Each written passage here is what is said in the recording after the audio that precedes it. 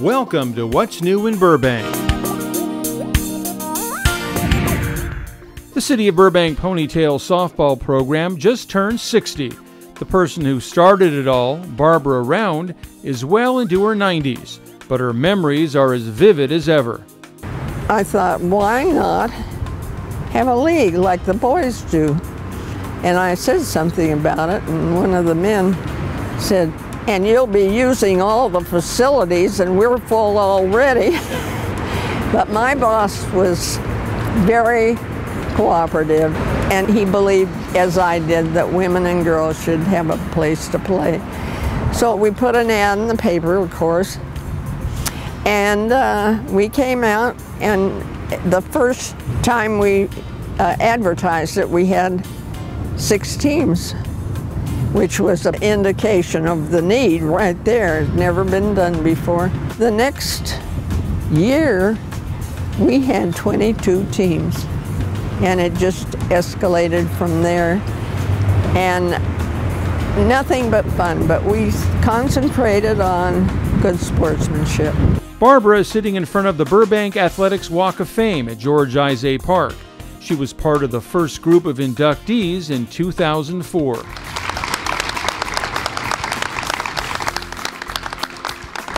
In 1957, founded, she founded the Burbank Ponytail Softball League, which was to become a national model for girls' fast pitch softball programs. The first year, there were six teams. By 1980, when she left, almost 100 teams were participating. Congratulations and unveil your very deserving star. When I first came to work for the Park and Recreation Department, there were no women's and girls sports, and there was not a, an actual bar a barrier to it, but nobody had ever thought of doing it. They were busy promoting the boys and the men and so forth. And being uh, an athlete myself, I wanted the girls to get in and be recognized. And I'm not sure what uh, year it was. They did the, the, the diamond in my name. And I often say I'm so glad they didn't wait till I died because I've enjoyed it tremendously. And my four grandsons have played on my diamond. And you think that isn't a thrill, you know.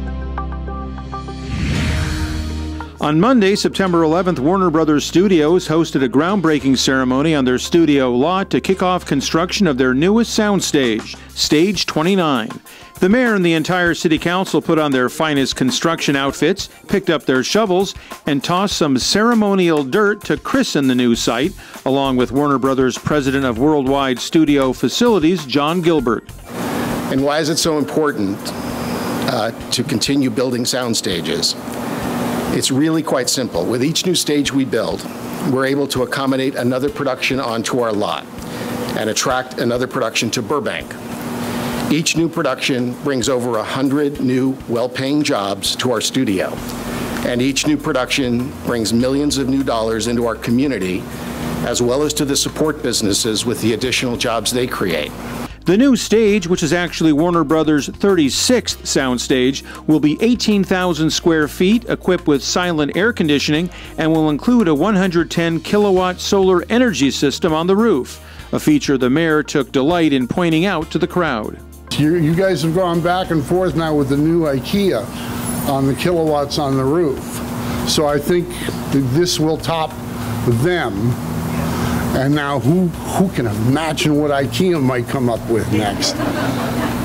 Uh, the city of Burbank very proudly supports Warner Brothers and your many employees. Uh, we're excited to have you as part of our community and we look forward to working closely with you to ensure your continued success in Burbank and beyond. Thank you for being here, Warner Brothers. We appreciate you.